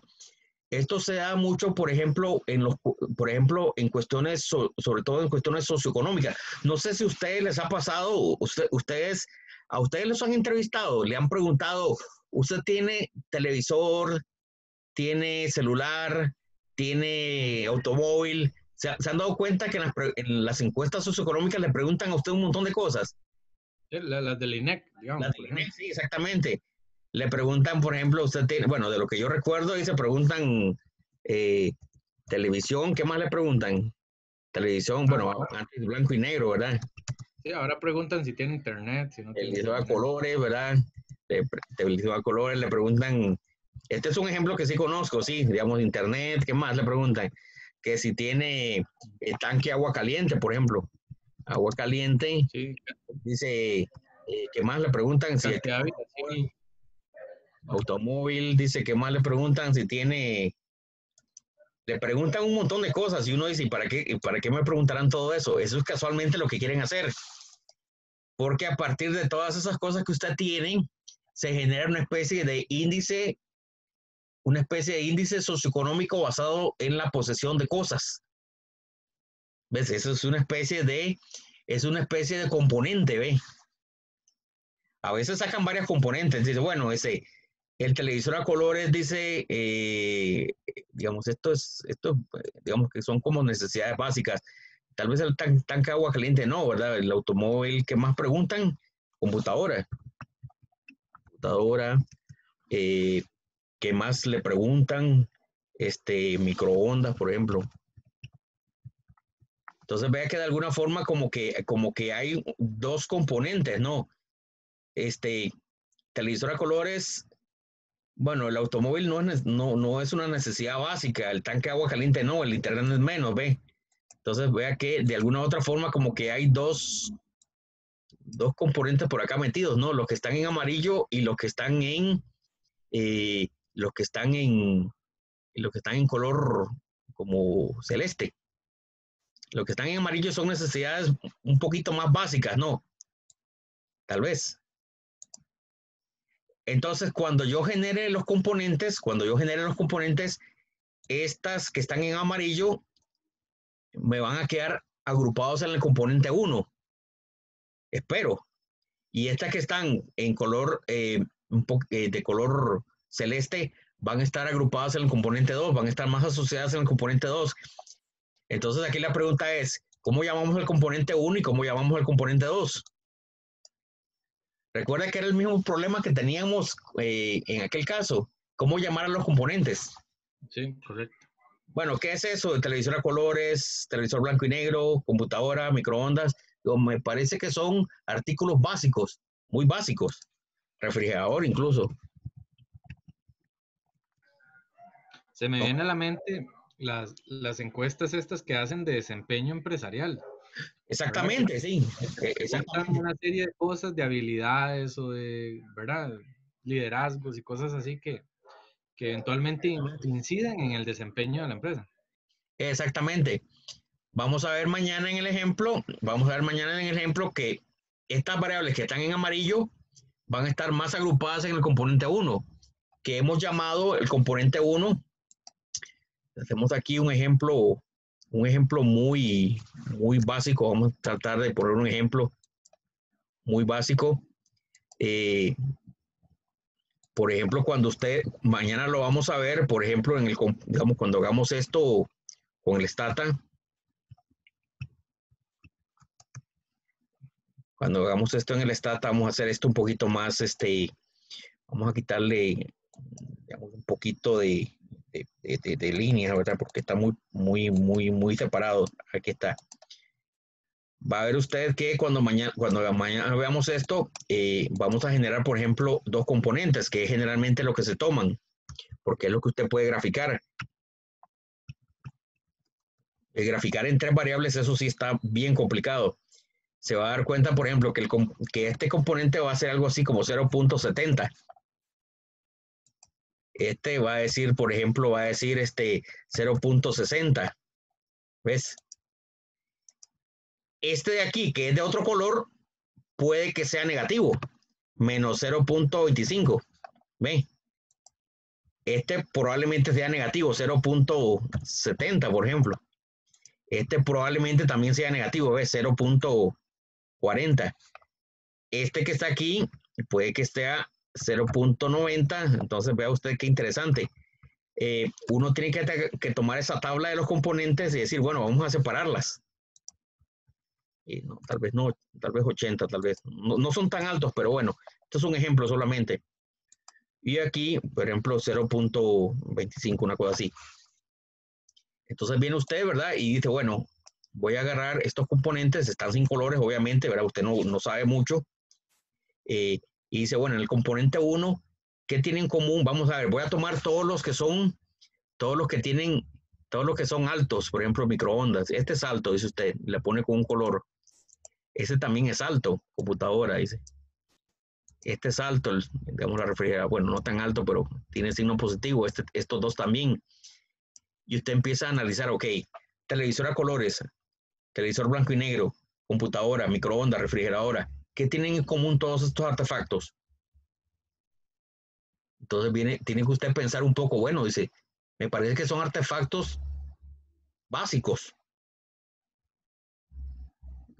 Bueno, sin televisor, pues no es que no es que le va a ir mal, pero ahora cuesta mucho no tener televisor, ¿no? Eh, bueno, si no tiene refrigerador está en problema, ¿verdad? O microondas. Estos en internet, el tanque agua caliente, el automóvil, como que no son tan básicos, ¿ves? Estos estarían más, por ejemplo, en el componente 2. Por eso uno ve todos los componentes, ¿ve? 0.70 aquí, ¿ve? Eh, puede que este diga 0.80 en el componente 2, este 0.95, y estos de acá serían tal vez negativos. ¿Qué les parece? Entonces, uno tiene con estas tablas que separar, separar los componentes y separar las variables para ver qué es lo que usted está agrupando, ¿ve? Más o menos, sí. Sí, señor. Ok, eso es lo que vamos a ver mañana, ¿ve? Tal vez les puso un ejemplo fácil, ¿ve? Tal vez les puso un ejemplo muy fácil. Pero lo más difícil, lo más difícil en el análisis de componentes principales es separar, separar los componentes y separar las variables. Es decir, ¿qué tienen en común esas variables? ¿Cómo le ponemos a ese componente? Aquí les puse un ejemplo, pero a veces en eh, van a ver ustedes que en el ejemplo del profesor, pues él, no, él, no, le puso un nombre al componente. En el, en el video que vimos, por ejemplo, no, no, ahí está todavía el, el video, sí. En el ejemplo que vimos, él le agrupó, por ejemplo, eh, la cuestión minera, ¿verdad? Con la cuestión, eh, la cuestión industrial, ¿verdad? Este, y me parece que la cuestión de servicios. Y, dice uno, bueno, ¿qué significa la minería, el sector industrial y el sector servicio? Bueno, son indicadores de, un, de países un poco más desarrollados, ¿no? por, ahí va la cosa, ¿ves?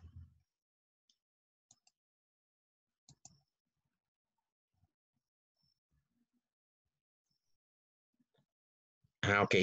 Bueno, aquí ahorita leí. Eh, bien, entonces, por favor, vean el video número 2. Creo que en el video número 2, eh, ahí sí está un ejemplo ilustrativo.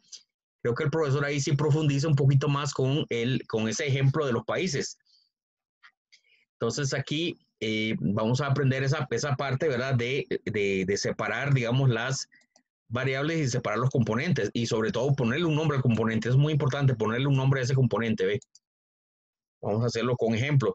Y es cierto lo que dice el compañero, esto se usa mucho en las encuestas, digamos, en las encuestas, por lo, por lo menos, este, las encuestas que hace el INEC siempre preguntan un montón de cosas, ¿verdad? Siempre preguntan todo lo que uno tiene en la casa, ¿verdad? es una forma de obtener el, eh, el, el, nivel socioeconómico o el ingreso a partir de la posesión de artefactos electrodomésticos. ¿ve?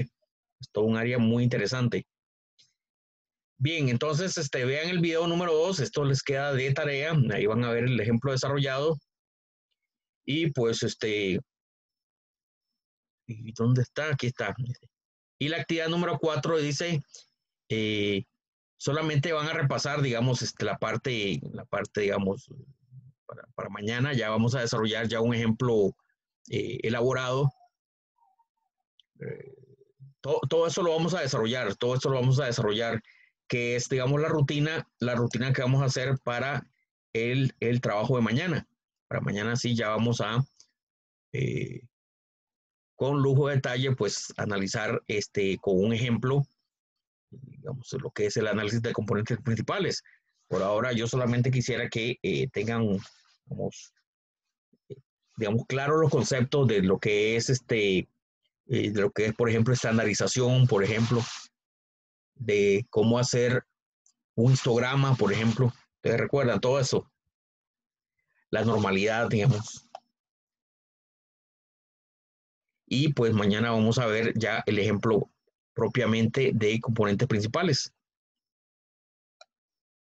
Muy bien, no sé si tienen alguna pregunta, alguna duda. Bueno, con esto terminaríamos las actividades para el día de hoy. Eh, en esta sesión dice no hay asignación, hoy no hay asignación.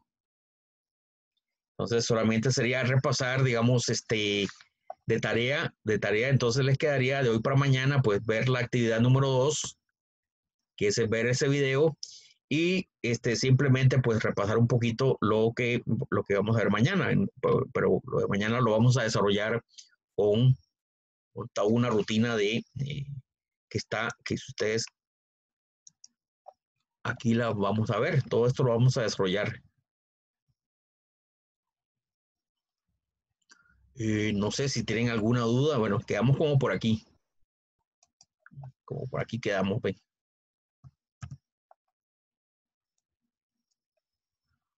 Estoy grabando, sí. Eh, ¿Hay alguna duda, alguna pregunta, alguna consulta? No sé. Tal vez, tal vez mañana vamos a ver con más lujo, con lujo de detalles todo esto. ¿Qué le pareció, este Armando? ¿Qué aprendió hoy? No, muy interesante. lo que me queda es la estrategia que uno puede utilizar con estas herramientas para atender, por ejemplo, un caso. y, y luego que uno lo puede pensar, porque uno puede pensar en, en, lo, en lo, grueso, digamos, de, de un ejercicio, y luego lo puede, eh, digamos que desmenuzar un poquito en otras variables, eh, porque estoy yendo al revés, más bien, estoy yendo de lo, más grande a lo más pequeño, y viceversa. Entonces, eso es lo que me queda, digamos, del ejercicio, que realmente uno podría pensar, que puede existir algún componente principal que uno lo puede, eh, eh, más bien, que está compuesto, valga la redundancia, por una serie de variables, ¿verdad? Que, que uno puede también este, investigar. Entonces eso me parece bastante... Eso es, eso es, esa es la idea de componentes principales, sí. Eh, recuerden, los componentes principales son variables ¿cómo, le, cómo es que no me gusta ese término? Son variables escondidas, por decirlo así.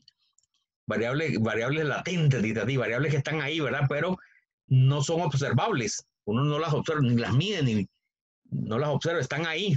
Uno tiene que extraer de los datos, hacer minería y sacar esos componentes, ¿ves? Que significan algo.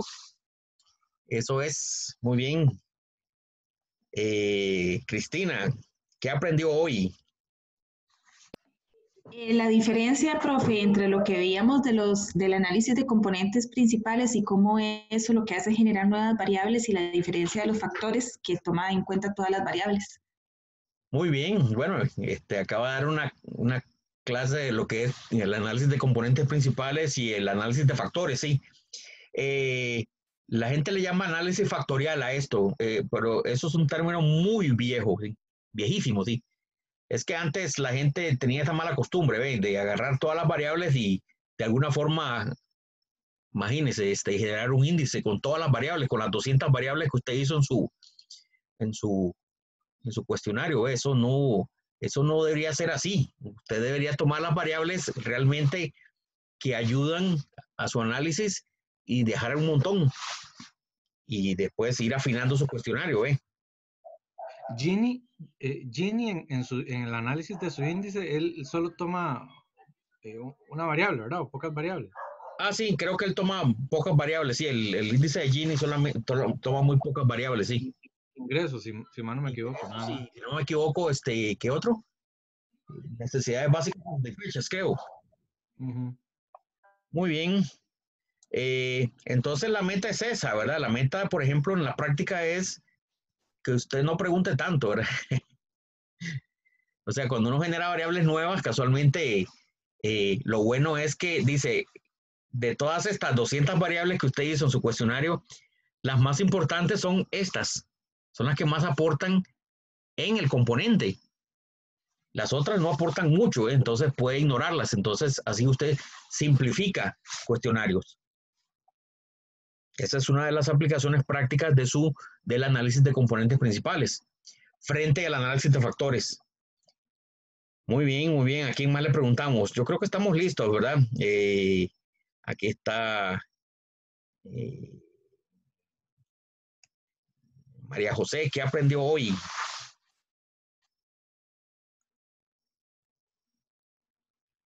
¿Qué nuevo aprendimos hoy? Dice, ¿qué nuevo aprendimos hoy que no sabíamos antes? A ver, creo que, creo que no está María José. Eh, Patricia. Sí, sin, lugar a dudas, sin lugar a dudas, ¿me escucha, maestro? Sí, le escucho, le escucho. Sí, sin lugar a dudas, la, la forma de organizar los datos y y sobre todo poder generar esas dos variables a partir de un grupo de variables y poder analizarlas, sobre todo su comportamiento y poder eh, aproximarse a un concepto de, del nombre de un componente es muy importante porque a partir de ahí comienza el análisis de lo que queremos. y, y, la técnica estadística me va a decir en función o está dada en función de, de la tipo de organización de los datos, me dice qué es lo que quiero de ellos. Muy bien. N, N ecuación estadística, pero esta me dice que es exclusiva para ese tipo de ordenamiento y eso va a depender de lo que yo quiero generar a partir de los datos. Muy bien, excelente, sí. Perfecto. Eh, jóvenes, eh, yo creo que yo creo que por ahora es suficiente. Ya vimos, digamos, las actividades necesarias para el día de hoy. Eh, no sé si ustedes tienen alguna duda, alguna pregunta, alguna consulta, algo que me quieran hacer. Digamos. Eh, en la sesión de mañana ahí vamos a desarrollar ya con calma toda, toda la, eh, todo el ejemplo. ¿Alguien, alguien, alguien mencionó? ¿Alguien? A ver. Rodrigo. Sí, señor. Este, si le entendí bien, esto es un análisis que se puede aplicar a priori para depurar el, la encuesta antes de aplicarla. La pregunta es, eh, en ese caso, ¿con qué datos estaría haciendo ese ejercicio? Eh, no, este, vamos, voy, a trabajar con una base de datos ya, ya construida, ¿ve? Ya vamos a trabajar con una base de datos ya construida.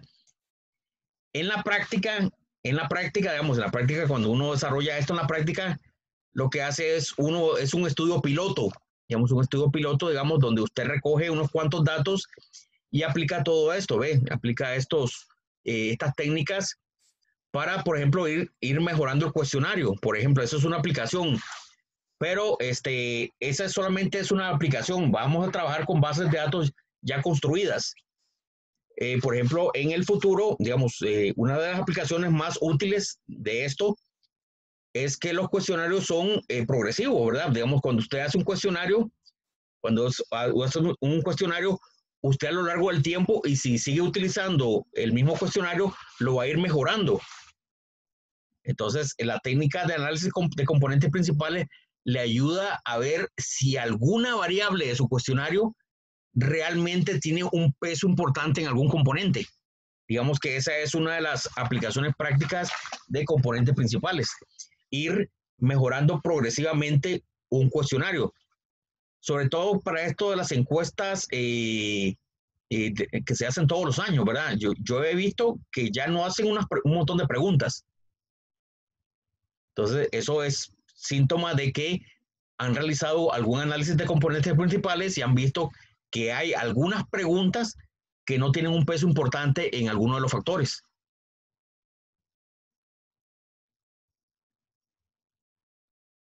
Ok, perfecto. E, eso es una aplicación, ¿verdad? Eh, si usted dice, no, no, profe, no voy a utilizar este cuestionario nunca más, digo, bueno, entonces no, no aplique. El análisis de componentes principales le ayuda para otras cosas, ¿ve? Le ayuda para generar índices, le ayuda para reducir variables, le ayuda para generar nuevas variables, ¿verdad? Pero una, una cuestión práctica, ¿verdad? Indirecta es el aporte, el aporte que da una variable, una pregunta al cuestionario sobre algún componente. Hay algunas preguntas que realmente no sirven de mucho, ¿eh? No sé ni siquiera por qué las hacen. Entonces usted va simplificando cuestionarios, ¿ve? Muy bien, muy bien. Este, ¿Alguna otra pregunta? Tan bonitas, tan muy buenas las preguntas. Voy a, voy a poner puntos extra por las preguntas.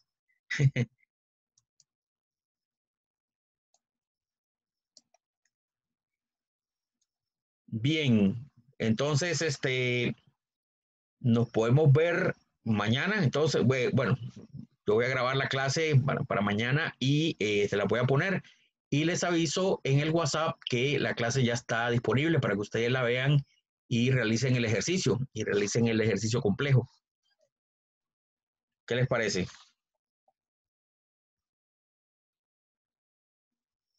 Perfecto.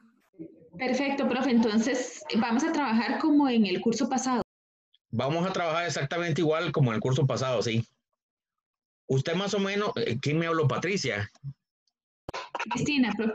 Cristina, sí, vamos a trabajar exactamente igual como en el curso pasado, sí. Es exactamente lo mismo, sí.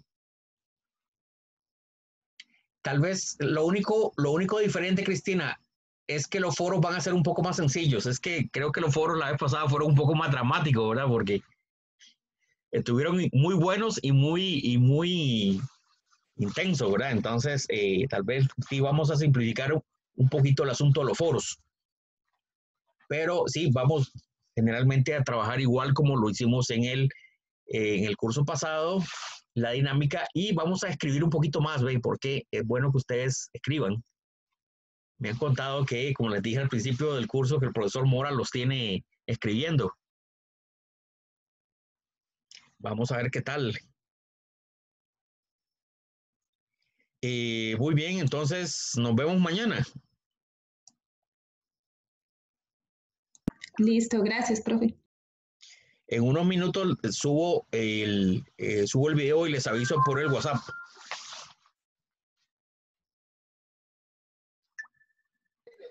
Excelente, muchas gracias.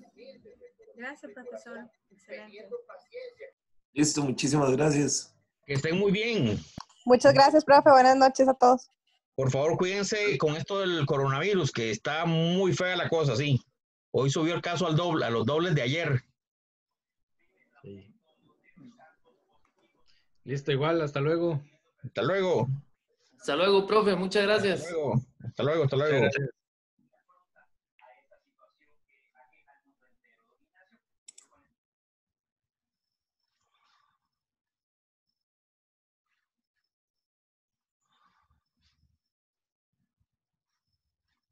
there.